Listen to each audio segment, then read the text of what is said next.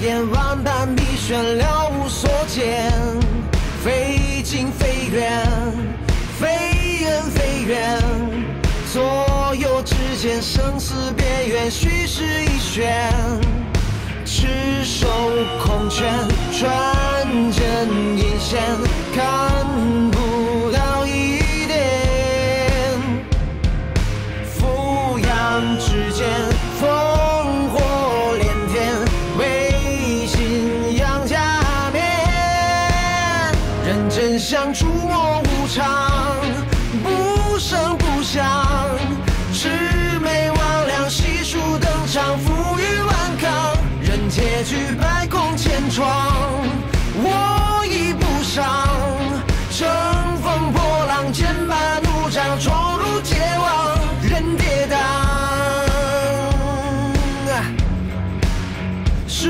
是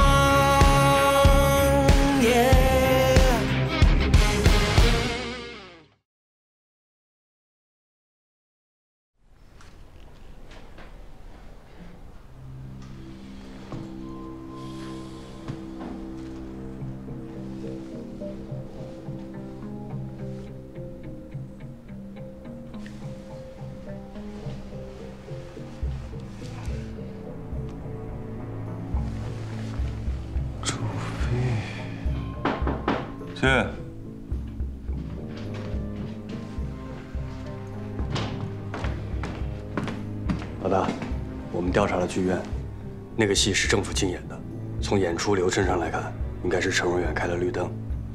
那个戏的编剧叫周飞，和陈若远的关系不一般。周飞是。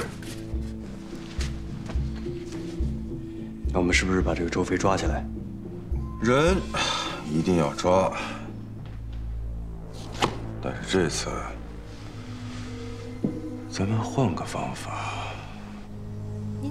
我们去吃饭啦？啊，不了，最近大家也辛苦了，回去好好休息吧。好，大家都辛苦了。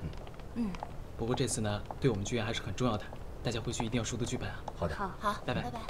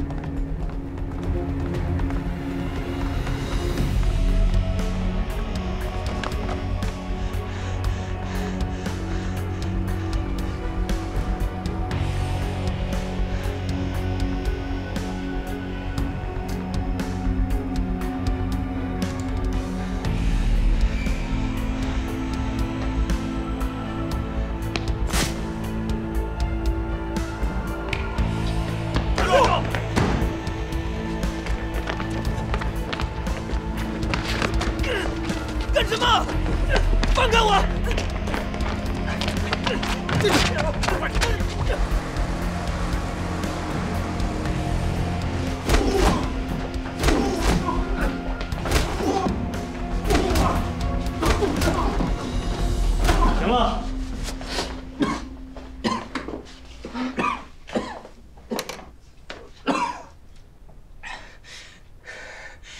你们是什么人？我们是谁不重要，有些话你要讲清楚才重要，要不然我不能肯定你能不能走出这个房间。你跟共产党到底是什么关系？你说什么？我听不懂。不着急，我相信你会说的。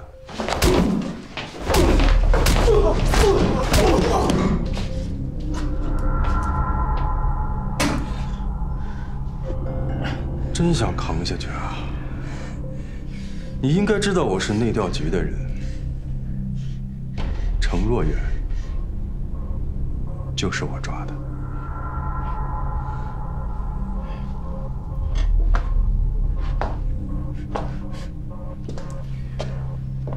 你难道就不好奇我是怎么抓到你的吗？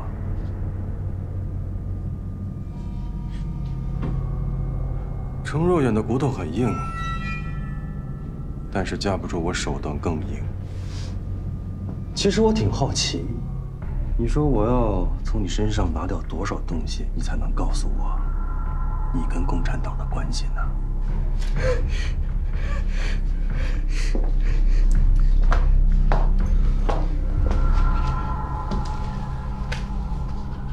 把衣服扒了！啊啊啊啊啊！我说，我说，我说！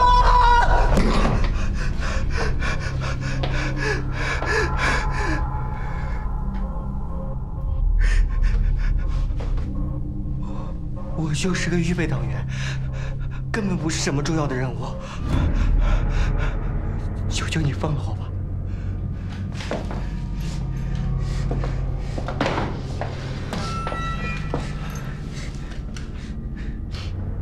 知道你不重要，但是我可以让你变得很重要，因为你会告诉我哪些人才是重要的，对吧？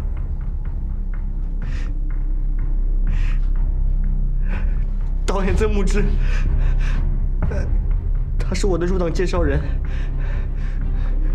许多社会活动都是他策划的。接着说。他最近好像有件很重要的事情要做，具体是什么我不知道，他也不会让我知道的。就这些？还有别的吗？文化界的王金阳，文艺界的马本金，还有学生团体里的李明海，他们都是共产党。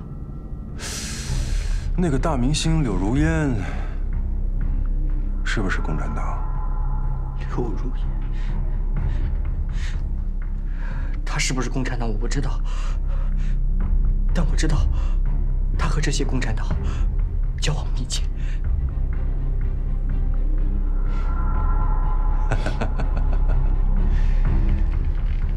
这就对了，只要你听话，就不会掉骨头的。辛苦了。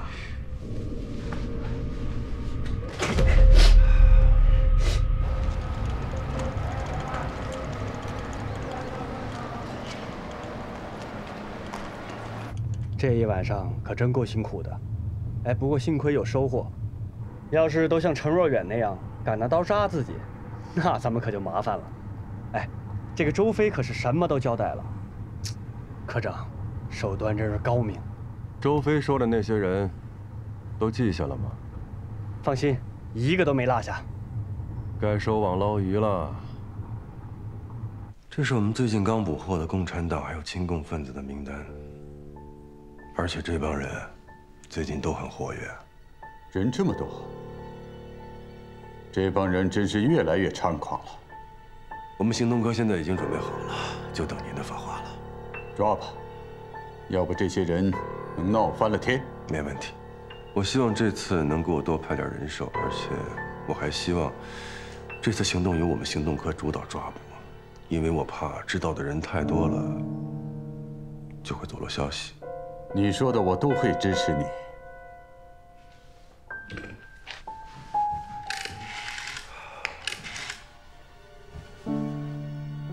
让沈林来我的办公室。好，进来。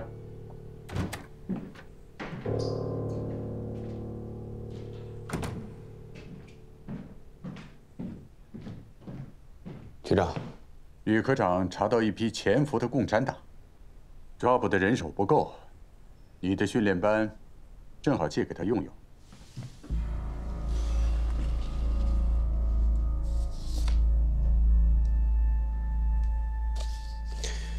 一切听从局长的安排。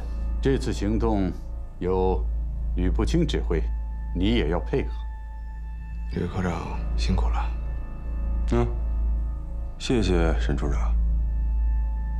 局长，还有件事儿，说，这次行动规模比较大，所有知情的人都不准离开内调局，直到我们所有行动都全部结束以后。这是应该的。你们安排下去，就说是我的意思。所有参加这次行动的人员，必须到收网之后，才能离开内调局。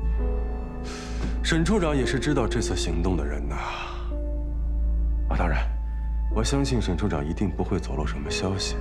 但是为了服众，看吕科长你说的，我自当以身作则。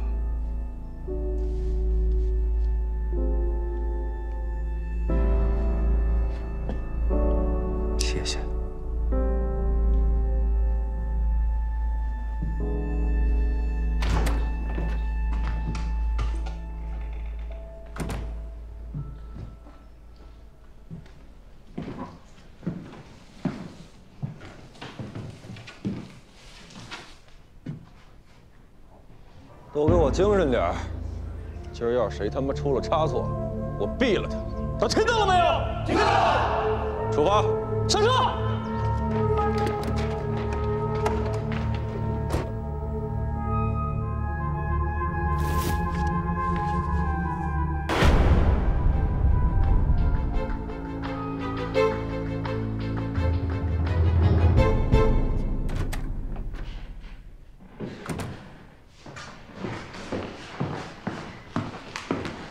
沈处长，您找我把我酒拿走，啊？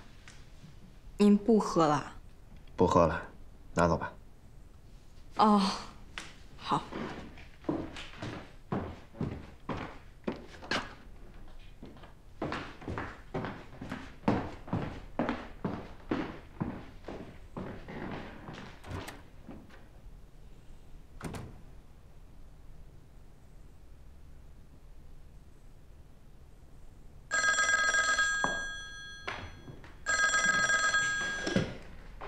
喂，是我。你找我有事吗？你还记得小的时候你在咱家南院种的那棵柳树吗？柳树？怎么了？前几天我发现那棵柳树生病了，掉叶子掉的特别厉害。可能是南院阳光不太好吧？你最好把它移栽到北院去。如果晚了，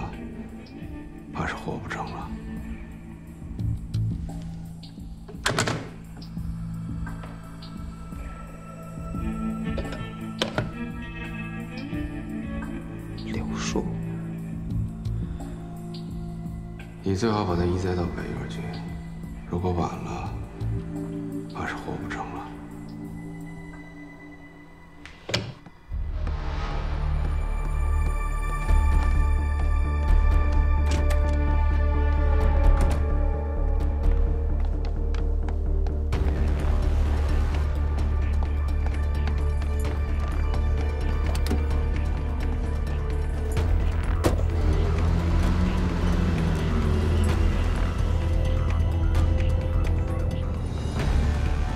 快点开！是。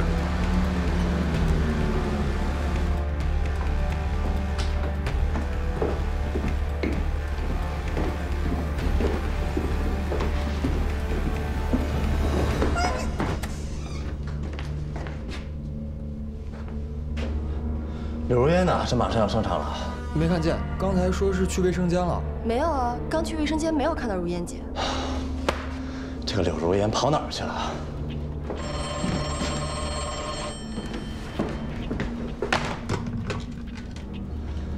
喂，哪位？现在正忙着呢。你是总务值吧？五分钟之内来剧院对面旅馆三幺七房间，否则你永远见不到柳如烟了。你是谁？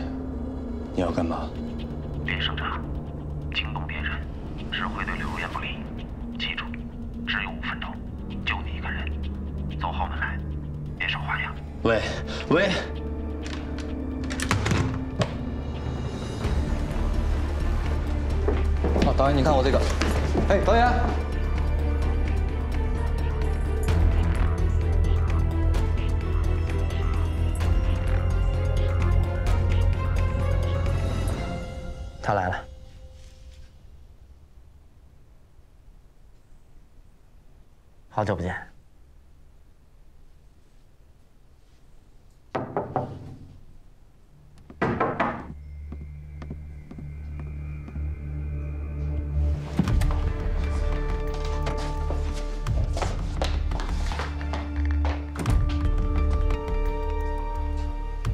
你们这是干什么？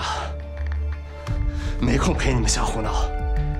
如烟我们走戏要开场了你哪儿都去不了。让开。我要对我的观众负责。我们被内调局的人盯上了。怎么可能？你听他胡说。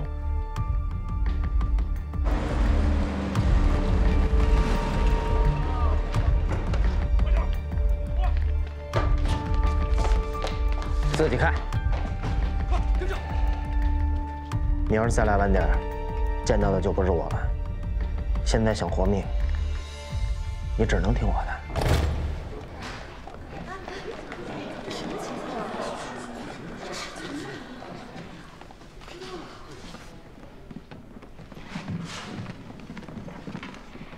我们是内调局的，都坐好了，接受检查。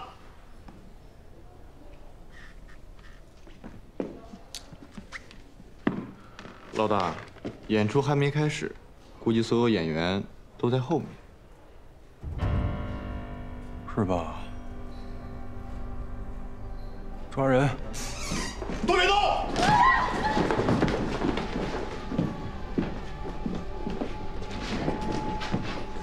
曾不知柳如烟在哪儿？你们都哑巴了？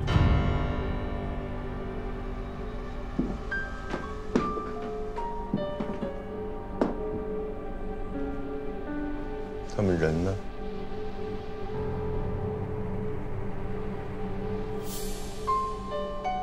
不说是吧？那就是通共。你们所有人都脱不了干系。那咱们就回去慢慢聊，满足你们这样的要求容易。带走。等一下，等一下，我说，柳莲不见了，曾导刚刚出去找她了。什么时候走的？就在刚才，才刚走呢。看住他们，剩下人跟我追。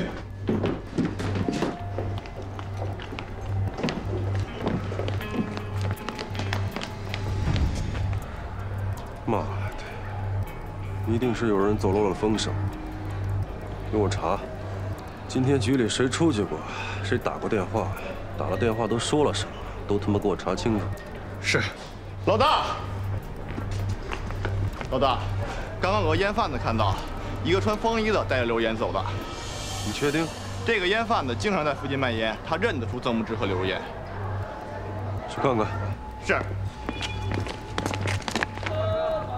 香烟嘞，卖香烟嘞。老大，就是他。长官，说，你刚看到什么了？就是那个刘如烟嘛，人长得漂亮。以前我还看过她两场戏，演的是真好。谁问你这个了？问你刚才看到什么了？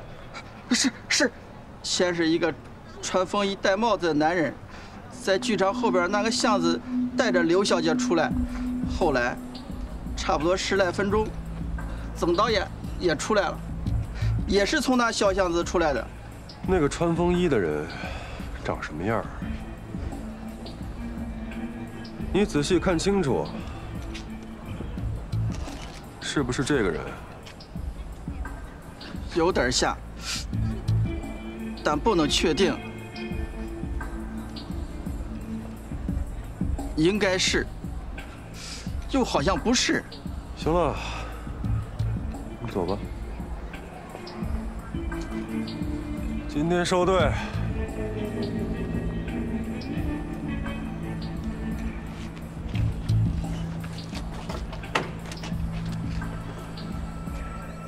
直觉告诉吕步清，那个穿风衣的男人一定是沈放。如果是沈放窝藏了共产党，那就太好了。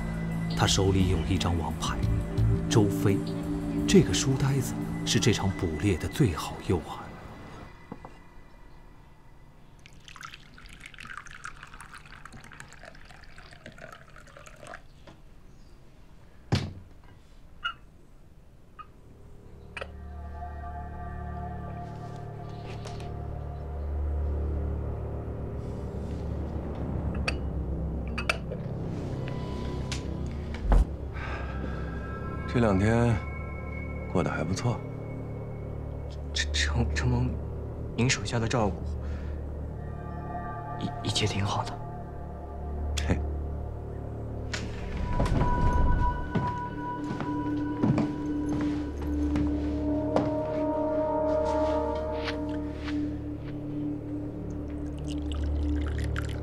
放心吧，我肯定会好好照顾你。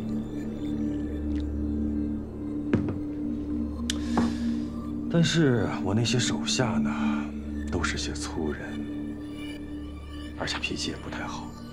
真要是做了什么过激的事儿，你可别怪我疏于对他们的管教。刘科长，你还要我做什么？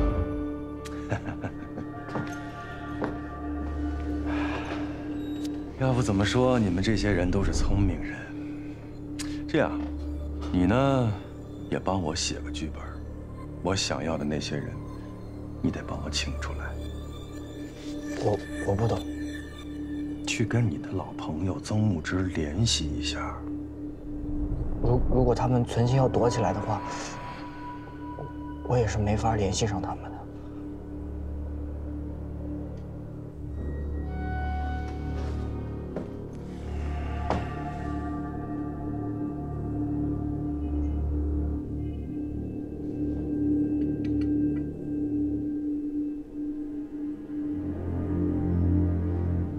我觉得呢，你要是想联系的话，总会有办法的，对吧？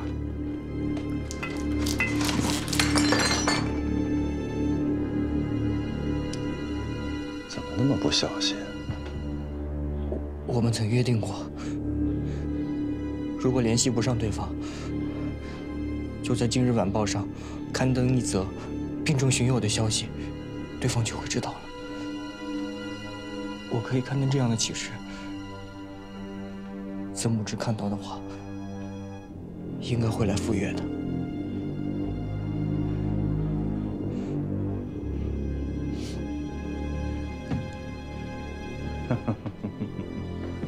好啊，那就赶紧去做。不过我提醒你，你最好祈祷他能来，要不然……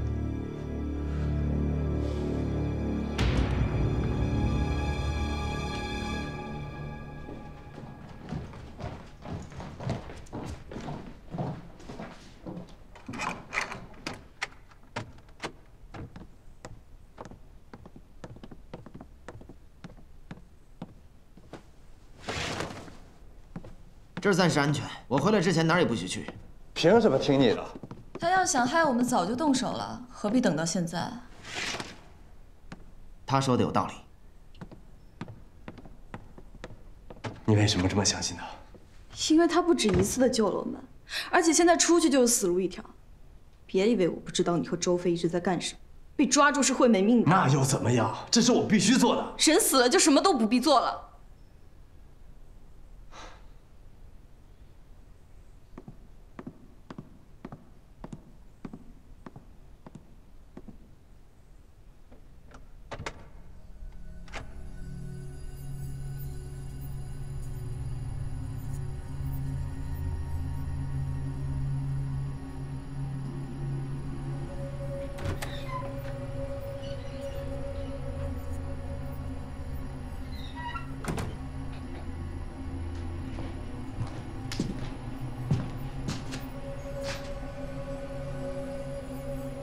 李军，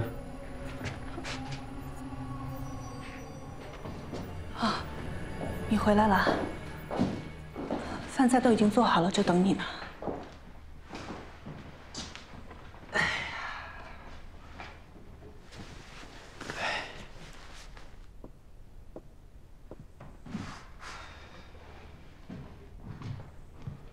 你怎么了？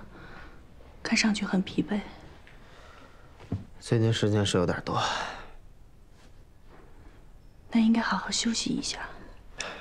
过一阵就好了。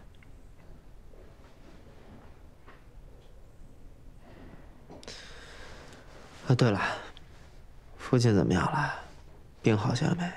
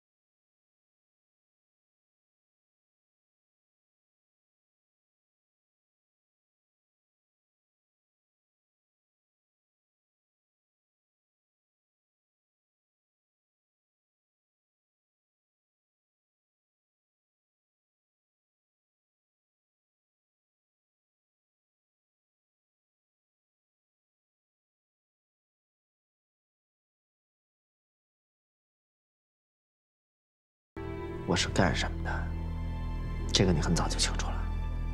我不管你是什么身份，你都是我的丈夫。难道你就不能抛弃一切，只做我的丈夫吗？你到底要说什么？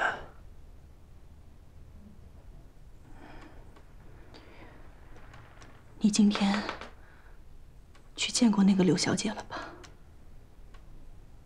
是你把她藏起来了。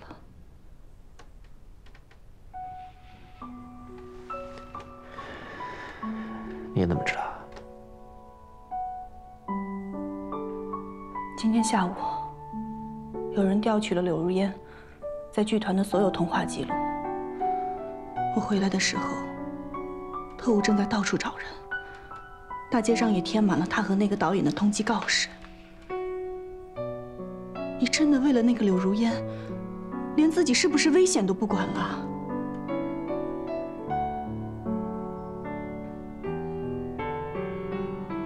已经这样了，为什么还要去管那些不相干的人呢？我们的麻烦还不够多吗？你这么做考虑过我的感受吗？你知道我每天都在过着什么样的生活吗？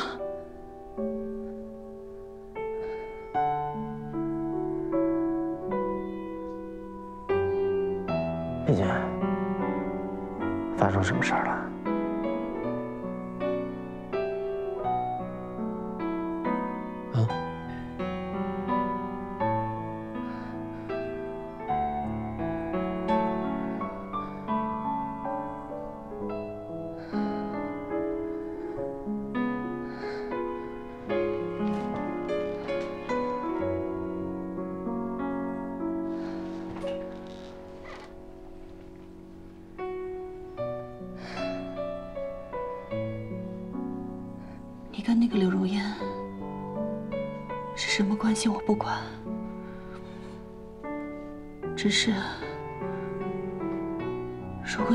他们藏起来，我家在南京有一处老房子，因为位置偏远，这些年一直空着，没人住，也没人知道。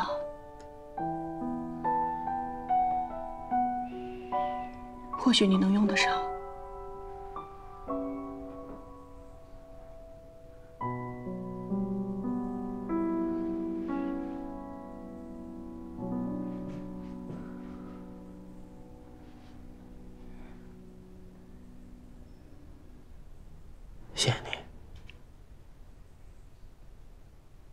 我是你的妻子，帮你就是在帮我自己。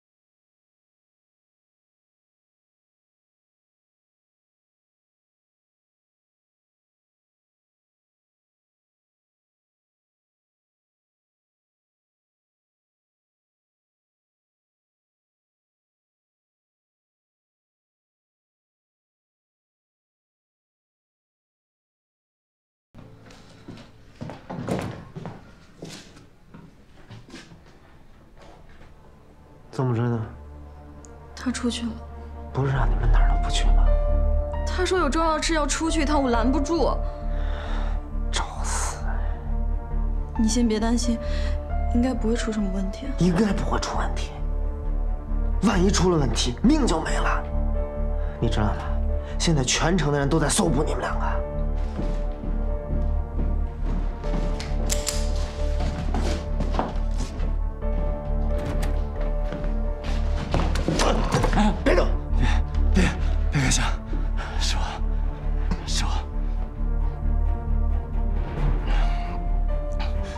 你还敢出去？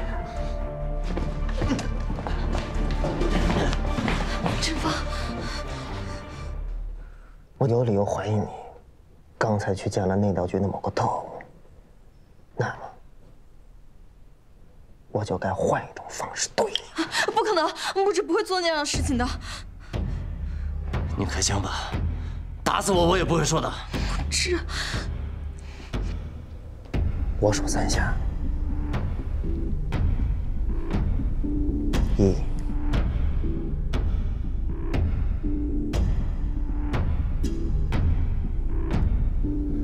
二。沈芳，沈芳，沈芳。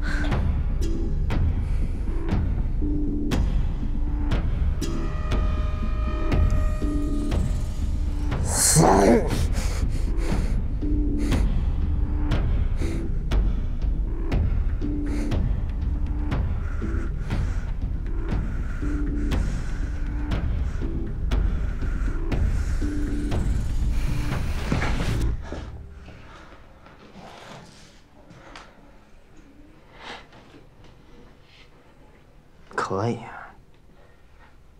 想到一个弱不禁风的导演，居然还能这么硬气。希望你进了审讯室也可以这样。不过你记住了，如果下次再这么不听话，我一定会一枪打死你。这个地方不安全了，我们还得换个地方。哎，刚才我回来的路上仔细看过后面，应该没有尾巴，这里应该是安全的。应该没有意外。一切你不确定的事儿，都有可能要了你的命。跟我走。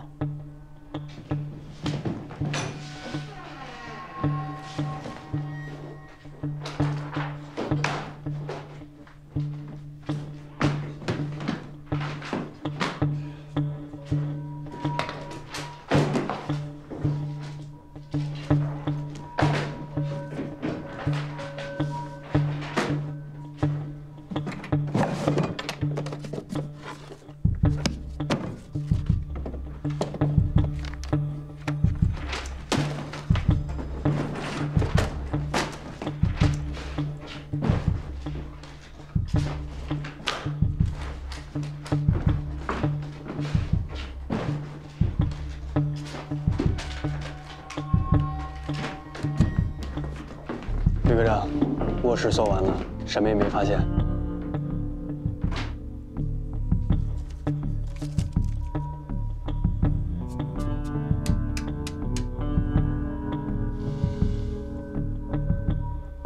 一九四九年三月，江平。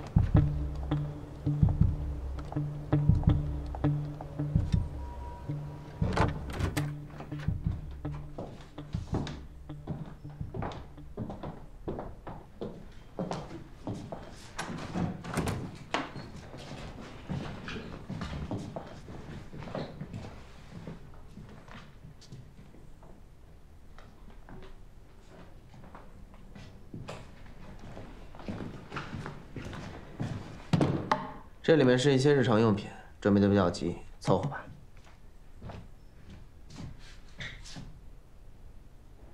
没什么事儿，别在窗户前瞎溜达。我先走了。等一下。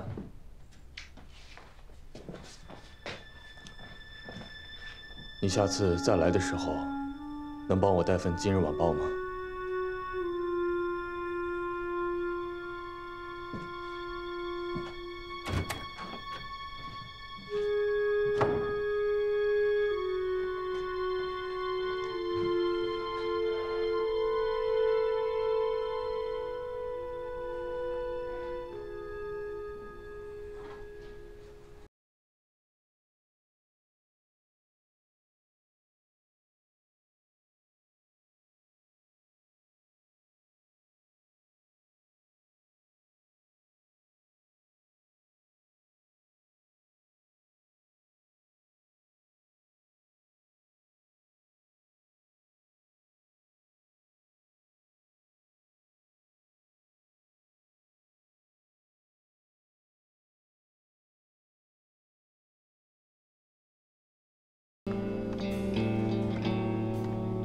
先生，您需要点些什么？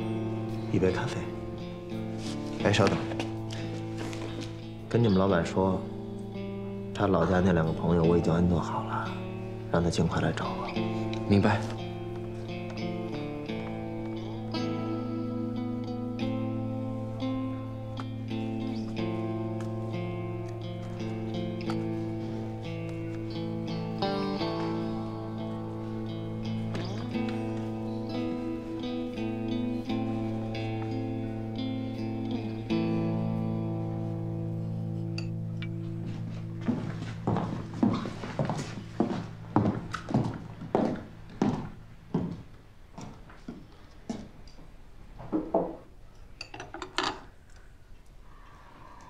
做了些汤泡饭，这只有这些东西了。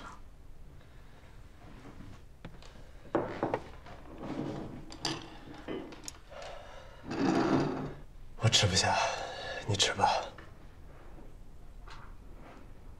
你多少还是吃一点吧。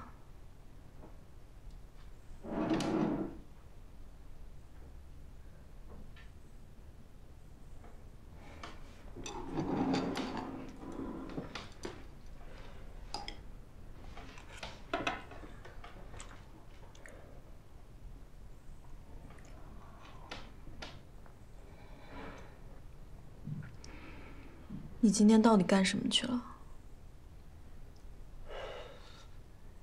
事情发生的太突然了，我担心家里有些东西没有处理干净。如果被发现了的话，是会出大问题的。那现在处理好了吗？我根本就没有回去，里面全是特务。剩下的事儿，只能靠周飞了。你怎么就确定周飞一定安全啊？特务要抓的是我，周飞现在应该问题不大。而且，跟周飞认识这么多年了，我信任他。有重要的事你怎么不找沈放？现在咱们最能信任的只有他了。那可不一定。什么不一定不一定的？他要想害我们，还用等到现在吗？我的任务太重要了，我不能冒那么大的风险。他就算救了我，那也是为了你。怎么那么狭隘啊？你就该被那些人抓起来。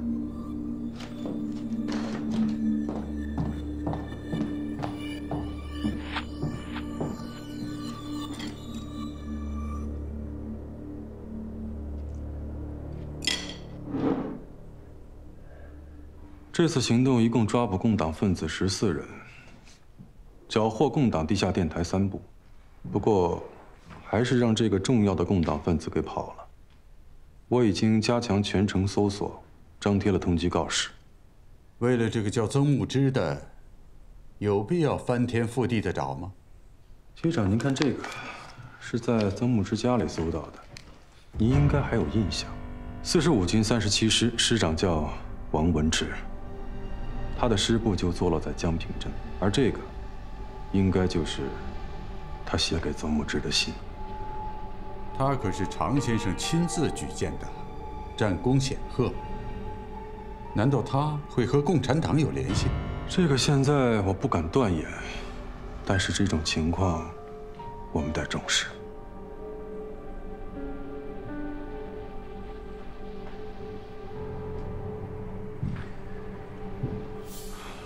局长小心驶得万年船。